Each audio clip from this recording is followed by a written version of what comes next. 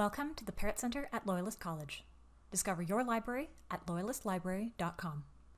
This video is one in a series that explores searching and research skills. In today's video, we'll introduce you to the library's website. The library's website is your starting point for all of your research and information needs.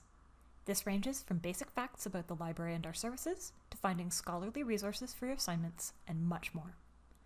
You can find our site at www.loyalistlibrary.com. You can see right away that there's lots of different kinds of information and lots of different links, so let's take a closer look at some of them. The tabs along the top organize information and resources into broad subject areas library services, tools for research, access to different collections purchased by the library, and more. Each tab opens a drop down menu that you can use to look for more specific information.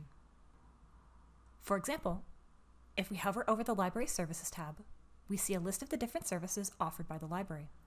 You can click on any one of these and be directed to a new page with more details about that service. Or, if we hover over the Collections tab, we see a list of the different kinds of resources purchased by the library. You can click on any one of these to look at them in more detail. Take some time to explore the different tabs and see what we have to offer. Scrolling down the page, we see several buttons and a search box. This search box is Catalyst, the library's discovery tool. You can use Catalyst to look for information in the different collections purchased by the library, including the books and DVDs on our shelves, and the electronic content in our databases, including journal and news articles, ebooks, streaming video, and more. To learn more about using Catalyst to look for information, watch our basic search video. You'll see that there's also a PDF copy of our Quick Start Guide to Searching with Catalyst. There are also multiple buttons on the page. You might have noticed that many of them have the same names as the tabs at the top of the screen. That's because these buttons will take you to the same information that you can find using the tabs. We've just given you more than one way to get there. One of the most important buttons is the My Account button, located in the top row on the right side. If you click this button, you'll be prompted to sign in to your library account. Your library login is the same as your My Loyalist login. Once you've signed in, you can view your library account. You can see what items you have on loan, view any fines or fees, and check on any outstanding requests that you've made. You can also renew any items that you have on loan, provided that they're not overdue, haven't already been renewed once before, and provided that the item hasn't been requested by another student. Signing in is also very important when you're working off campus.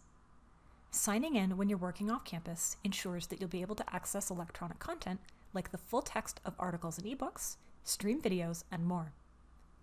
It also allows you to access all of the features in Catalyst. You can learn more about these features in our basic search video. Some of the buttons will also take you to specific collections. For example, the e-resources button will take you to a list of all of the different databases purchased by the library. A database is a searchable collection of information. In a library, a database is where you'll find electronic content, like journal and news articles, reports, streamed videos, ebooks, and more.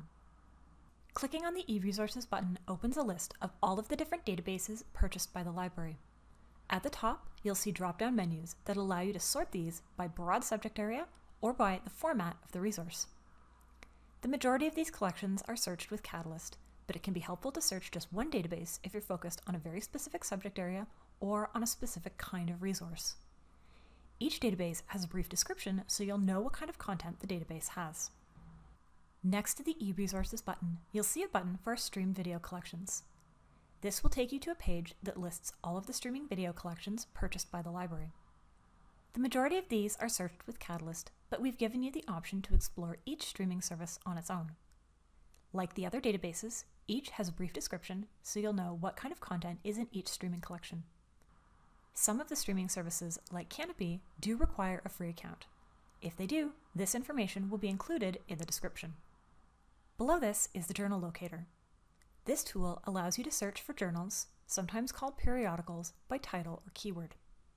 This can be helpful if you want to focus on content in one specific journal or subject area. Finally, we have the Research Guides button. This button opens a list of all of the electronic research guides created by the library. These guides group together a selection of library resources related to either a college program or a specific topic. Find the guide for your program on this list and take some time to explore. To the left, we have buttons that will direct you to more information about some of the more popular library services, including copyright, help with writing, citing, and citations, library policies and rules, and more. And that's it. Now you know the basics of navigating around the library's website. Take some time to explore, and if you have questions or need extra help, get in touch with us using the contact information below.